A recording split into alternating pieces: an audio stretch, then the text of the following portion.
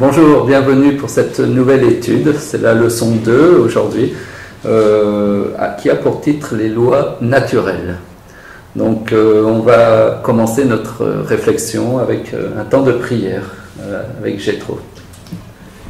Dieu notre Père, nous voulons te prier pour que ce temps d'étude soit un temps fertile dans chacune de nos vies et dans la vie de tous ceux qui pourront écouter, partager, bénéficier de tes enseignements dans les Saintes Écritures en ton nom. Amen. Amen. C'est vrai que là, nous sommes amenés à parler de la forme écrite de la parole de Dieu qu'on appelle très communément la Bible. Il faut savoir qu'au départ, la Bible était quelque chose qui était transmise oralement de génération en génération, de père à, enfant, etc. Et dans l'Ancien Testament, c'est ainsi que beaucoup d'enseignements étaient délivrés peu de gens savaient lire et écrire.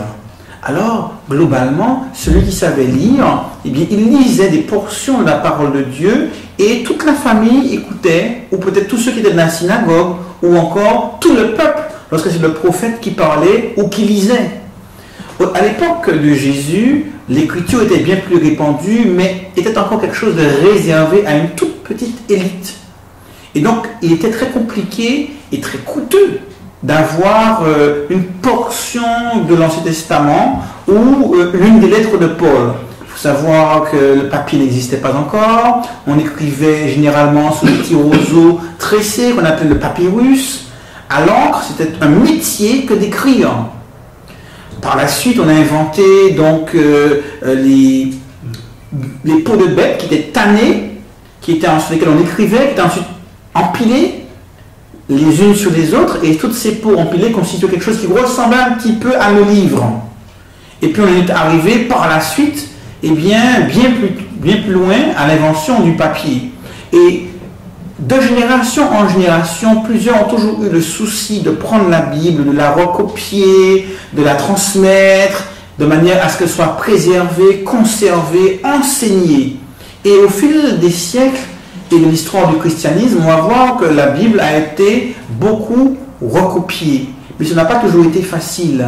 Et cette parole de Dieu, la Bible, eh bien, a souvent été l'objet de destruction. Certains voulaient donc empêcher euh, d'autres de pouvoir la lire. Et on connaît l'histoire de l'Église chrétienne dans les 11e, 12e, 13e siècles, comment posséder la Bible était devenu quelque chose de complètement illégal n'avait même pas le droit de la posséder, voire de la lire. Mais toujours est-il que cette Bible a continué à être recopiée, à être lue, et nous est parvenue de nos jours sur les différentes versions qui existent encore aujourd'hui. Et c'est vrai que c'est très facile d'en posséder une aujourd'hui, très facile de pouvoir l'imprimer, et traduite dans des centaines de langues. Il y a des associations et des sociétés dont l'objet unique, c'est traduire publier et vendre ces, Bibles pour que tous puissent en disposer, en lire, eh bien, c'est parce que Dieu a suscité des hommes et des femmes qui ont investi de la mission de pouvoir eh transmettre de génération en génération cette Bible afin qu'elle serve de témoignage encore aujourd'hui du message que Dieu a voulu transmettre à l'humanité. Et ce message est d'autant plus important en période de persécution. Pourquoi?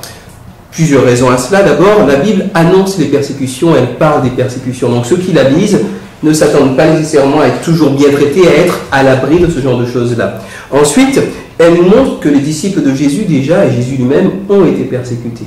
Et que donc il n'y a pas d'illusion à se faire, même si la tendance humaine naturelle est de se placer dans une relation à Dieu de marchandage dans laquelle Dieu va nous accorder la protection, euh, va nous éviter tout mal, tout souci, euh, n'empêche que la réalité qui nous est décrite dans la Bible elle-même, sur Jésus, sur Jean-Baptiste, sur qui vous voudrez, c'est que les chrétiens sont persécutés dans un monde qui est sous la domination du prince des ténèbres.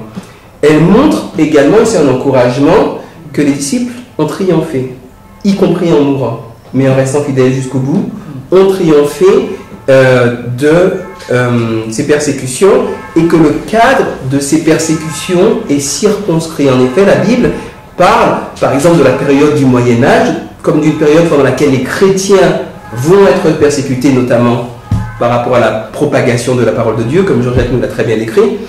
Mais la, Bible dit qu'il y a un terme, il y a des chaînes prophétiques, des échéances, des dates, des événements clés qui montrent que la persécution n'est pas quelque chose qui a une vocation à s'étendre éternellement, mais au contraire être circonscrit dans un cadre spatio-temporel extrêmement précis. Et donc, en période de persécution, on peut s'appuyer sur ces promesses pour tenir bon et se dire que ce n'est jamais qu'un mauvais moment, même s'il est très mauvais à passer. Enfin, il y a tout au long de l'histoire des gens qui se sont battus pour que les écritures puissent être propagées. Non seulement puissent être propagées, mais puissent être protégées de ce qu'on appelle les apocryphes, que l'enseignement soit gardé dans sa pureté. Et on se demande, mais pourquoi est-ce qu'ils se sont battus?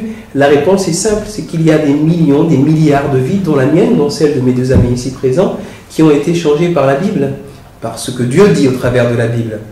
Euh, les Vaudois se sont battus, les Vaudois ont été persécutés, tués, maltraités, torturés pour propager la parole de Dieu, mais cela en valait la peine et il est intéressant de discuter, ce sera l'objet d'ailleurs de la leçon suivante, des raisons pour lesquelles cela vaut la peine d'étudier la Bible, de lui faire confiance, tout en grandissant et en évoluant dans sa compréhension et dans son vécu spirituel lié aux Écritures. Merci. C'est vrai a une époque où nous sommes libres euh, d'avoir la Bible, de la lire, que nous avons autant de versions euh, possibles. Euh, on a un accès au savoir comme jamais on a existé jusqu'à maintenant. Mais la question qui se pose, c'est qu'en faisons-nous? Que faisons-nous de, cette parole? Que faisons-nous de cette Bible?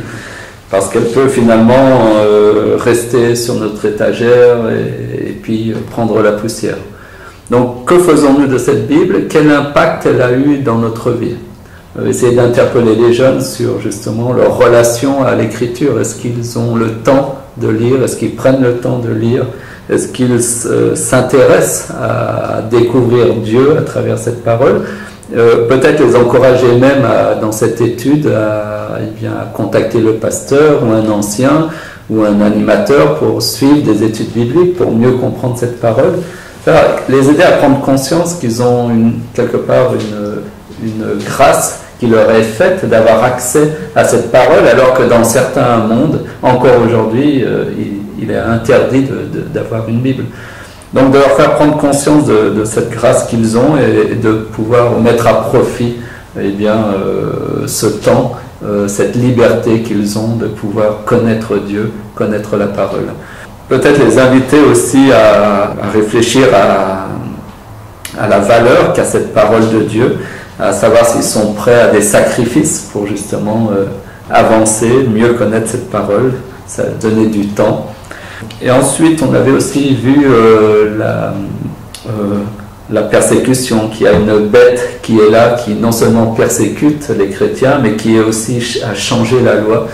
Et peut-être souvent eh on projette euh, ces choses sur, euh, sur la bête, mais peut-être est-ce que nous aussi nous ne pouvons pas changer ou adapter la, la, loi ou la parole de Dieu selon nos désirs ou selon notre volonté.